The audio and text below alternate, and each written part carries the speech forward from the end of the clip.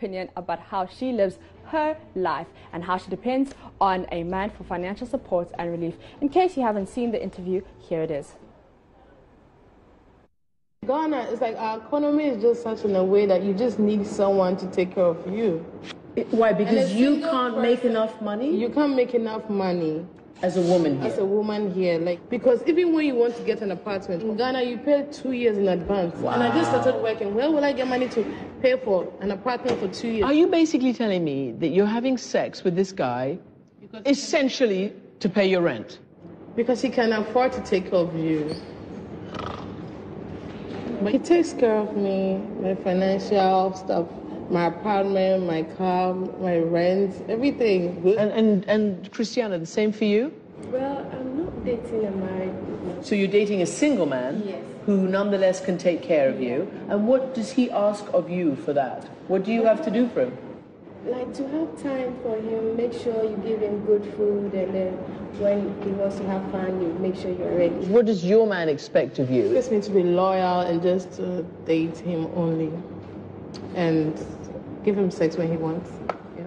And what if you said no one day? He turns up at your house and you got a headache. What does he say? You can't say no. You have to give him what he wants. And what if you don't want it that day? That means he's going, he's going to think you're cheating on him. Holy cow. Yes, he's going to think you're cheating on him. And does your man have more mistresses? Yes. So let's bring this discussion down. I was talking to a few ladies earlier today, and this is what they had to say. So, what do you make of this? Well, it's baseless. You can't tell me you are dating a married man just because of this economical something something. Well, fine, this man can sponsor you. But the point is, what if it is your husband? How are you going to feel if you see your husband cheating with you with some lady just because the lady can't take care of herself? So I think what she's saying, she just go get something to do, sit her ass down, and then work something out and stop this marriage man, married man something. It's so annoying. That's what I think. Thank you. All right, let's come to you. Okay, I think basically she she's getting one shenate and then if i were to be in her shoes i i know very well he is a married man so he's not taking me anywhere or i'm not going anywhere with him so for sponsorship fine but then later on i will just move on with my life when i'm done getting what i want that's my point. But then, is this not a reality? Is this not something that happens every day? And she's only being judged because it was on CNN and it was shown to the world. Um, yeah, it happens every day. Yeah. But the bottom line is this is a married man we are talking about. Are you going to be cool if the same thing is done to you? The fact that he provides for you, that's everything. You said you can't make enough money as that's the statement when you can't make enough money as a woman. Where did she get that idea from in the first place? What makes her think that as a lady you can't make enough money? And how much do you even need as a lady to survive so that you will go in for a married man in question? So does the married man not know that he's married? He's the, he's the one who did, who made the vows.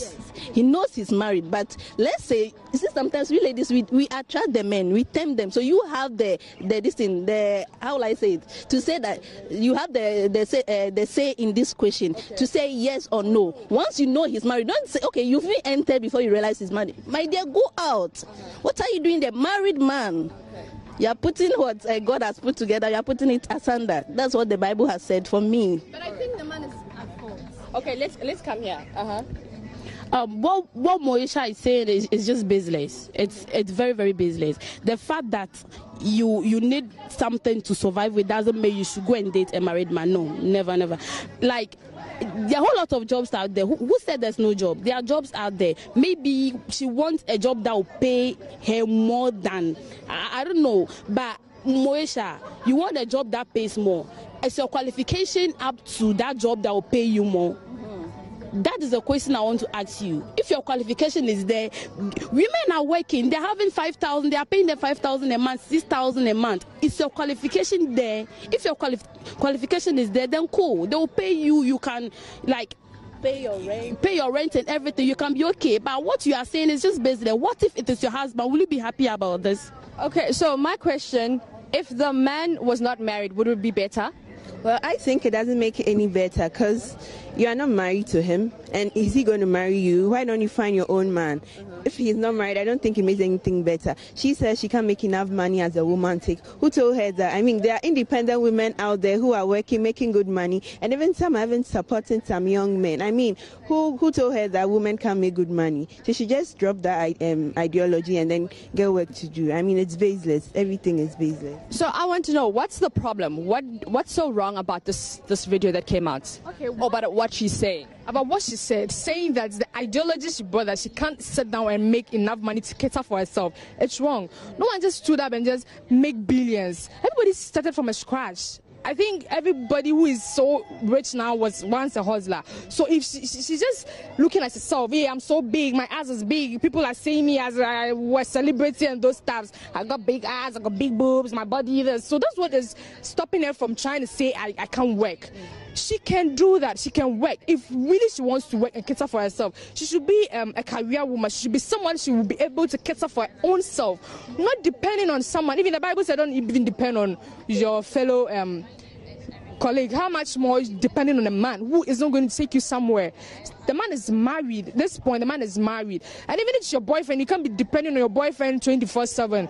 The boy will be, will be fed up, be like, ah, why? I mean, I mean, whoa, whoa, that stuff. So that's what I think. Okay, so I want to know. Um, it says that men are supposed to take care of their wives or their girlfriends. I don't. I, honestly, I don't see anything wrong with it. She's having a relationship with someone, and the man is doing her job, his job. Do you understand? And she's doing her job. So what is so wrong about it? Who even brought up the idea that the man is supposed to take off the, their girlfriend? Is it not in the Bible?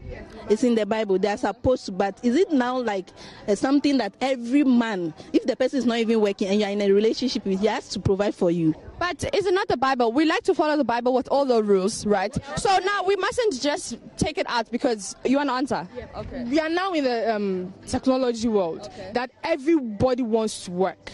That's the point. At first, a, a woman is supposed to be a housewife. She don't have the right to go somewhere. Even you don't even need to go to school. That was what was then. So right now we are in the technology world. So every woman wants to say, "Hey, I need to help my husband."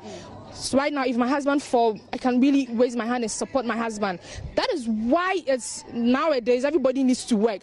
But according to the Bible, a man is supposed to take care of a woman. But nowadays, it's like hand go, hand come. I help you help. So that is the point. I think uh, something is wrong about what she said. Okay, let me.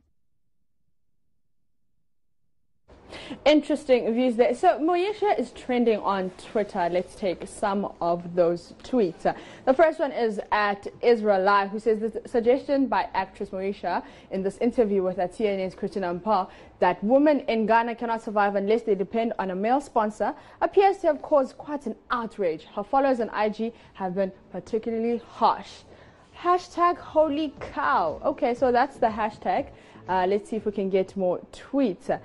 And this one is at uh, Gatgreen. Okay, Efodela, who says, Eish, Moesha, man, I wouldn't have uh, complained if I had a sugar mama who wanted to sleep with me to help me pay my first two years advance rent in Accra. I still remember the pain I went through emptying my account. Uh, that tweet got 71 retweets and 170 and 167 likes. And he continues, okay. So that was a thread.